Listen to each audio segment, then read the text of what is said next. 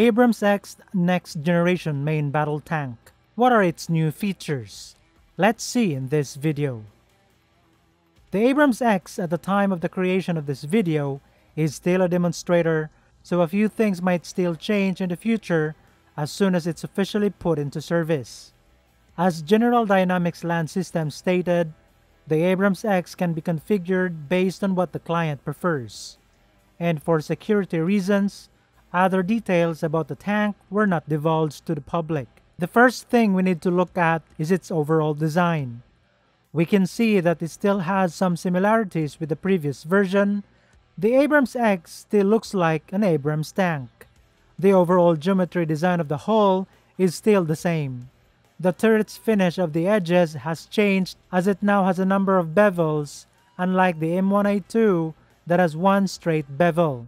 The layout of the turret has also changed because of some equipment added. We'll talk about them later. We can also see that the side skirts of the Abrams X are serrated, unlike the M1A2 which are straight. These serrated skirts are like mud flaps. Because this tank is designed to be highly maneuverable, it is lighter than the M1A2 as it has 60 tons of weight while the M1A2 has 73.6 tons. Engine Because the turbine of the M1A2 is gas hungry, they have replaced it in Abrams X with a diesel hybrid electric system which includes the electric motor, main engine, and generator. Because of this generator, the Abrams X can use its electronics and optics even if the main engine is turned off, making it so silent. This tank can also move silently using its electric motor, but only in short distances. We know how noisy the engines of tanks are, so it's very important that they are silent so that they can't be heard or seen by the enemies. Also, because of the diesel hybrid electric system, the tank can now save up to 50% of fuel. Although the Abrams X is lighter and has a hybrid engine, its land speed is still the same with M1A2 which is 68 kilometers per hour. The Abrams X is much more maneuverable because it is lighter. Sensors The most obvious sensors are the ones on the turret. Although GDLS hasn't yet named them, they seem to look like one of those PASEO electro-optical surveillance and fire control system of Safran.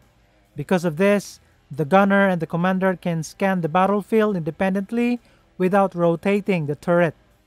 Next is the distributed aperture system, just like the F-35s. These are cameras installed around the hull of the tank.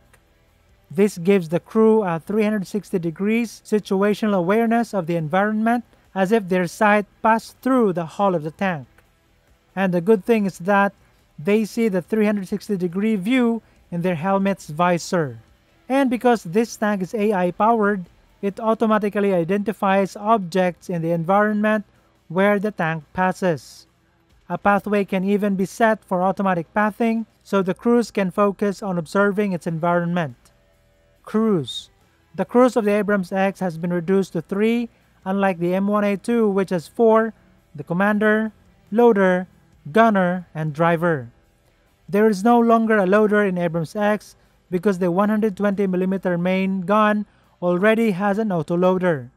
And because there's no longer a loader, all of the crews are not situated in the turret, they're all transferred to the hull. The turret became smaller and lighter because of this. Protection The active protection system used in this Abrams X demonstrator is the Trophy APS of Rafael, but according to GDLS, because the turret has agnostic design, any APS can be installed. GDLS also stated that instead of having two radars and launchers, the Abrams X will have three for 360 degrees protection of the tank. However, this is still in development but it's already close to completion.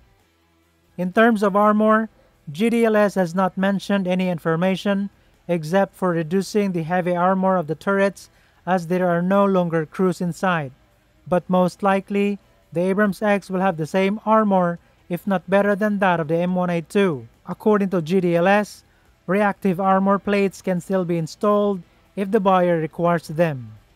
Armament The main gun is still a 120mm caliber but with a different gun tube, which is the XM360 gun designed by the US Army as part of their scrapped Future Combat Systems program.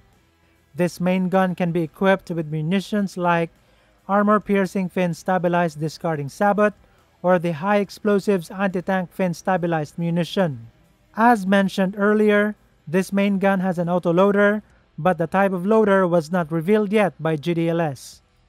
GDLS stated that this tank will not suffer the same fate as those Russian tanks whose turrets get blown away when hit by anti-tank munitions. This will not happen to Abrams X as its munitions are put inside a sealed compartment at the back of the turret. It has blast doors which only open momentarily when it loads munition. So, when the turret gets hit and the munitions explode, the explosion will only affect the back panel of the munition compartment and not the entire turret. The problem with the Russian tanks is that the munitions are situated all over and under the turret just like this one. So when it gets hit and the munitions explode, the entire turret gets destroyed as well. It is a design flaw. The secondary gun is different from that of the M1A2. It has the 30mm variant of the M230 automatic cannon equipped on a Kongsberg Protector RS6 remote weapon station. This is used to fire against aerial and ground threats. This RWS can also be equipped with anti-tank missiles like the Javelin or Hellfire. At the back of the turret is where the four launchers of Switchblade 300 munitions are placed. These are suicide drones that can be controlled by the crews from inside the hull. These can also be used as extended cameras to see the enemies until it gets detonated. What do you think?